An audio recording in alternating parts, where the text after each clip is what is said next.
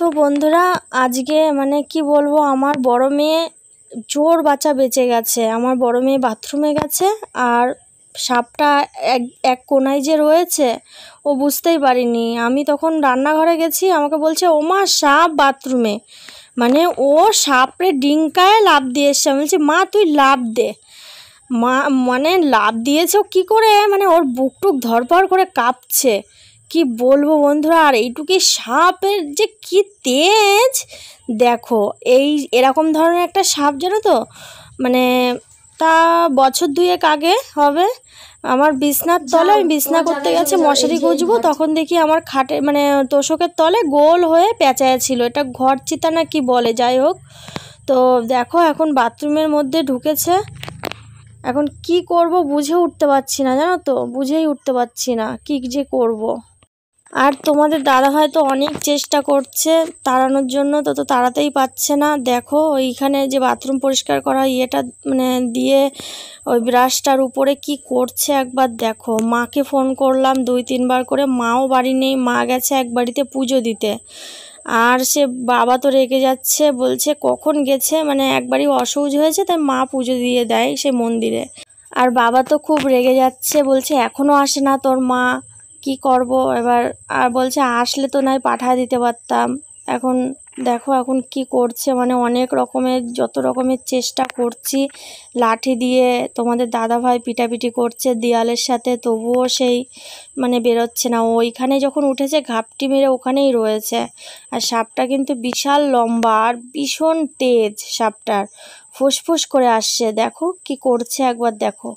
দেখেছ? আর আমাদের বাথরুমটা দেখেছ? মানে কলের জল এত আয়রন, দুদিন অন্তর দুদিন অন্তর পরিষ্কার করতে হয়। ভীষণ মানে আয়রন পরে দেখেছ? নোংরা হয়ে গেছে।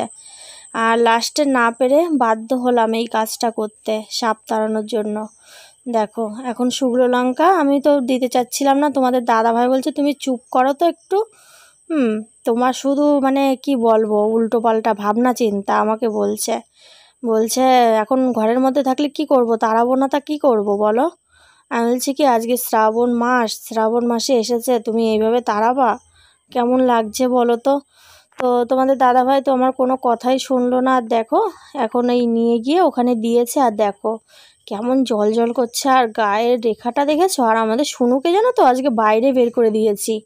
শুনুকে আমি বলছি, নন্দিনীকে বলছি, মা, তুই বাইরে বের করে দিয়ে দরজা দিয়ে নাহলে ও যদি একবার টের পেয়ে দেখে, আমার তো সর্বনাশ। মানে বাথরুমের মধ্যে ঢুকে হয়তো ওর ওর সাথে মানে লড়াই করা শুরু করে দিল। আর ও প্রচণ্ড পরিমাণে সাহসী। আমাদের শুনু প্রচণ্ড। আগের দিন দেখলে না, ওই সাপটায় কীভাবে সাপটার লেজ ধরে সেই মানে কামড়াতে যাবে? আমাদের শুনু। তো দেখো এখন দেখো বেয়ে বেয়ে বেয়ে বেয়ে উঠছে। আমি না এডিট করছি আর মনে হচ্ছে কি আমার চারিদিকে যেন সাপ। চারিদিকে সাপ রয়েছে। সেদিনকারা দেখো দুদিন আগে ঘরে একটা সেই লাউডুগা সাপ ঢুকেছে। মানে কি বলব, আমি শান্তিতে নেই। আমার একটা অশান্তির মধ্যে রয়েছি আমি, জানো তো? ভালো লাগছে না। আর এই সাপ সাপ করে না জীবনটাই যেন কেমন যেন একটা হয়ে গেছে। ভুল যে কি ভুল করেছি আমি এই জায়গাটা কিনে, সত্যি আমি ভীষণ ভীষণ ভুল করেছি। এখন মাঝে মাঝে ভাবি যে আমি কি ভুল করেছি এই পুকুর পাড়ে জায়গা কিনে, ভীষণ ভুল করেছি, জানো তো? মাঝে মাঝে কান্না পায় আমার। তো দেখো তোমাদের দাদাভাই তো ওই বিরাসটা মানে ছাড়ছিল না বিরাসটা ফেলে দিয়ে একটুখানি সরিয়ে নিয়ে এসে, আর দেখো সব জায়গায় লঙ্কা পুরো ছড়িয়ে রয়েছে, আর ওর তো মোটে কোনো গন্ধ বাতাসের কোনো ইয়েই নেই। আর দেখো কেমন করছে একবার, দেখো তোমাদের দাদাভাই ওখানে দাঁড়িয়ে রয়েছে, দেখে কেমন করছে, দেখেছ কেমন করছে, তাহলে চিন্তা করো এই দেখো দেখো। এই সাইডটায় আসলে তাও বাথরুমের মানে বাথরুমের ফাঁকার থেকে বেরোয় যেতে পারতো।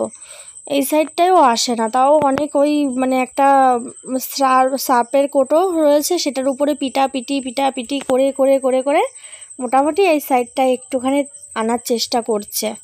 তো দেখো, অনেকটাই চলে এসেছে এই দিকটায়। তো এখন দেখো তোমাদের দাদাভাই মানে তোমাদের দাদাভাইয়েরও ভীষণ ভয় লাগে। এইবার নেমেছে, এইবার বাথরুমের এই পাশ থেকে একটুখানি বেরোবে। শান্তি পেলাম আমি। আমি একটু শান্তি, সত্যি এক দেড় ঘণ্টা ধরে এর পেছনে আমি লাগছি।